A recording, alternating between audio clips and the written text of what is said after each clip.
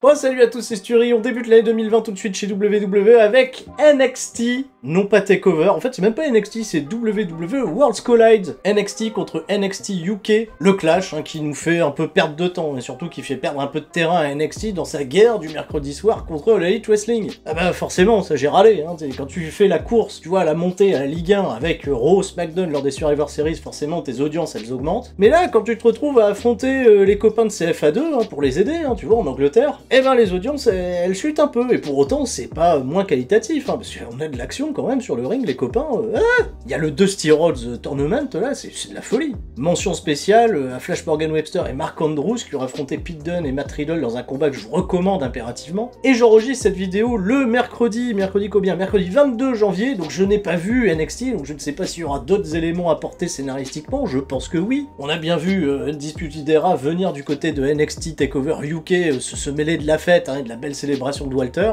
Alors pour le Gomme Show, peut-être, peut-être un, dernier élément scénaristique qui fait pencher la balance en faveur de, faveur de, on verra bien, on verra qui, Imperium certainement, voilà, pour être un peu un 50-50, hein, ils aiment bien WWE 50-50. Une carte qui présente essentiellement des grosses affiches qui devraient nous réserver du très très gros work rate. on va pas s'en plaindre hein, pour débuter l'année, on va déjà encore une fois poser des, classiques du côté de WWE, enfin surtout du côté d'NXT. Et une carte bien entendu qui se déroulera ce samedi soir à Houston, veille Royal Rumble et là encore de grosses interrogations. Est-ce que NXT participera à la grande fête du Royal Rumble? Pour l'instant, il n'y a rien d'annoncé. On pressent quand même hein, euh, notamment dans le Rumble féminin, euh, quelques noms euh, de la branche jaune et noire, des Shania Baszler, mais bon, tout ça j'en parlerai lors du Sturistradamus, du Royal Rumble qui sortira juste un peu après cette vidéo. Ne perdons pas de temps, le kick-off Oui, parce qu'il y a un kick-off. Hein. Désormais, NXT, on fait les choses bien, kick-off. Dans la tradition de ce World's Collide, NXT sera représenté par Mia Yim qui affrontera la championne NXT UK Kaylee Ray dans un combat qui devrait logiquement bien nous faire patienter. Je suis un des plus grands fans du style de catch de Miaim, que je trouve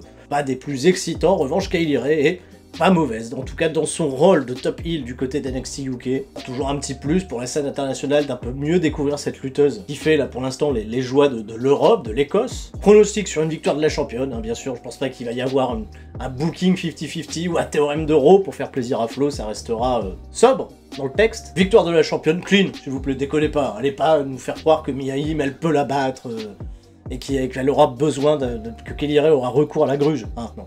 Soyons sérieux. Carte principale avec 5 matchs. Commençons tout de suite par ce qui peut potentiellement être l'un des matchs de l'année. Hein, voilà, bah, quand tu vois sur le papier qui on a. Moustache Mountain, Tyler Bate et Trent Seven. Alors Tyler Bate, il en passe de devenir peut-être l'un des meilleurs catcheurs de tous les temps, vu comment ça part, vu comment ce, gosse a des aptitudes totalement incroyables. Le prodige, voilà, c'est le prodige Tyler Bate. Trent Seven, avec qui il fait une paire qui est très efficace, contre la, la Dream Team de NXT qui se recompose pour l'occasion. Jody Gargano et Tommaso Ciampa, voilà. Voilà, tu, vois les deux équipes, t'as tout de suite les yeux, ok. Pas besoin de storytelling, pas besoin d'histoire. On sait qu'il y a une histoire un peu entre Ciampa et Gargano. Est-ce qu'ils vont bien collaborer? Hein, Est-ce qu'ils sont redevenus copains comme cochons? Mais là, c'est de l'exhibition. Là, c'est euh, donnez-vous-en à cœur joie. On n'a pas besoin d'avoir une histoire derrière tout ça. Du, du, bon catch en prévision. Et en revanche, par contre, trouver une décision. Alors, Taylor Bate et Trent Seven, euh, est-ce qu'ils ont vraiment besoin d'une victoire euh, qui sont pas véritablement dans la course au championnat par équipe du côté d'NXT UK L'équipe s'est même un peu euh, séparée, ils font un petit peu cavalier à part, ils sont juste bien copains. Je pense que WWE souhaite juste nous faire une affiche prestige qui serait, je pense, un, parfait opener à, cette carte. Alors régalons-nous, voilà, et victoire, s'il faut pronostiquer, victoire de Ciampa et Gargano, parce que, bon, les garder forts, voilà, les garder plus forts en tout cas que Tyler Bate et, et Trent Seven, mais régalons-nous, voilà, là c'est du plaisir pour les yeux, le match qu'il faudra absolument pas rater du week-end. Euh, il buzzera ce match, il fera le buzz. Fatal Four pour le championnat NXT Cruiserweight. C'est cool de voir le championnat Cruiserweight sur une carte qui s'apparente à un takeover, hein, voilà, c'est pas le kick-off en plus du takeover, c'est dedans, bien, c'est pas mal. Avec Angel Garza qui défend contre Shane Strickland, ah, Shane Strickland, Isaiah Scott, toujours un peu de mal, donc eux, ils représentent euh, NXT, et NXT UK, ça sera le vainqueur, les vainqueurs, pardon, de deux combats qui auront lieu jeudi, entre Jordan Devlin et Ligero, et Travis Banks et Brian Kendrick. alors là-dessus, mon pronostic, il est simple, hein, Travis Banks, Jordan Devlin, Power, Avenir, on est très bien. Et euh, bah voilà, là encore, tu vois quatre noms sur la carte, à Fatal Four ça va spotter dans tous les sens, alors attention, hein, faudra pas faire trop le, le contraste avec le match précédent, qui risque aussi d'être un incroyable spot fest hein, dans pas mal d'endroits. Jordan Devlin, Angel Garza, sur qui j'ai un œil, hein, c'est quand même pas banal. Ça risque de faire des, des mix très intéressants, pareil avec Travis Beggs, Isaiah Scott, voilà, il y a quatre beaux noms. Alors Isaiah Scott, je suis pas non plus des plus, euh, des plus foufous hein, de, sa, de sa période pour l'instant chez NXT, mais euh, ça sera une, bonne dose d'action, voilà, à 100%, euh, ça va voler dans tous les sens, ça trouvera son public, ça aura ses bonnes réactions. Angel Garza est populaire, il est bon, il est brillant ce garçon. Il va garder le championnat, bien entendu. Et si je suis mon raisonnement, ça fait deux victoires quand même euh, assez faciles pour NXT, hein, attention, hein. Ils vont peut-être essayer de faire des, équilibrages. Finn Balor contre Ilya Dragunov. Oh, sur le papier, t'imagines? WWE, ils peuvent nous régaler, hein. ils peuvent nous faire des affiches de fou, ils ont tout le monde. De toute façon, voilà, y a 80% des meilleurs catcheurs de la planète sont là-bas. Donc à un moment, euh, propose des affiches, voilà, et si euh, des Worlds Collide, ça peut nous permettre de voir comme ça des affiches qui sortent du chapeau. On a vu lors du NXT UK Takeover, pas le dernier, l'avant-dernier, il y a Dragunov contre Cesaro. Euh, ils ont rien prévu, c'est comme ça, cadeau, voilà, on vous le donne. Et ben on était content. Il y a contre Fit Baylor, il y a de quoi vraiment, euh, vraiment se faire plaisir. Alors attention, il y a Dragunov, projet ou pas, ça j'ai pas encore bien compris. Son utilisation au NXT UK Takeover, je l'ai pas trouvé euh, fantastique. Le mec euh, intervient dans le combat principal pour finalement se prendre une volée de la part de Walter.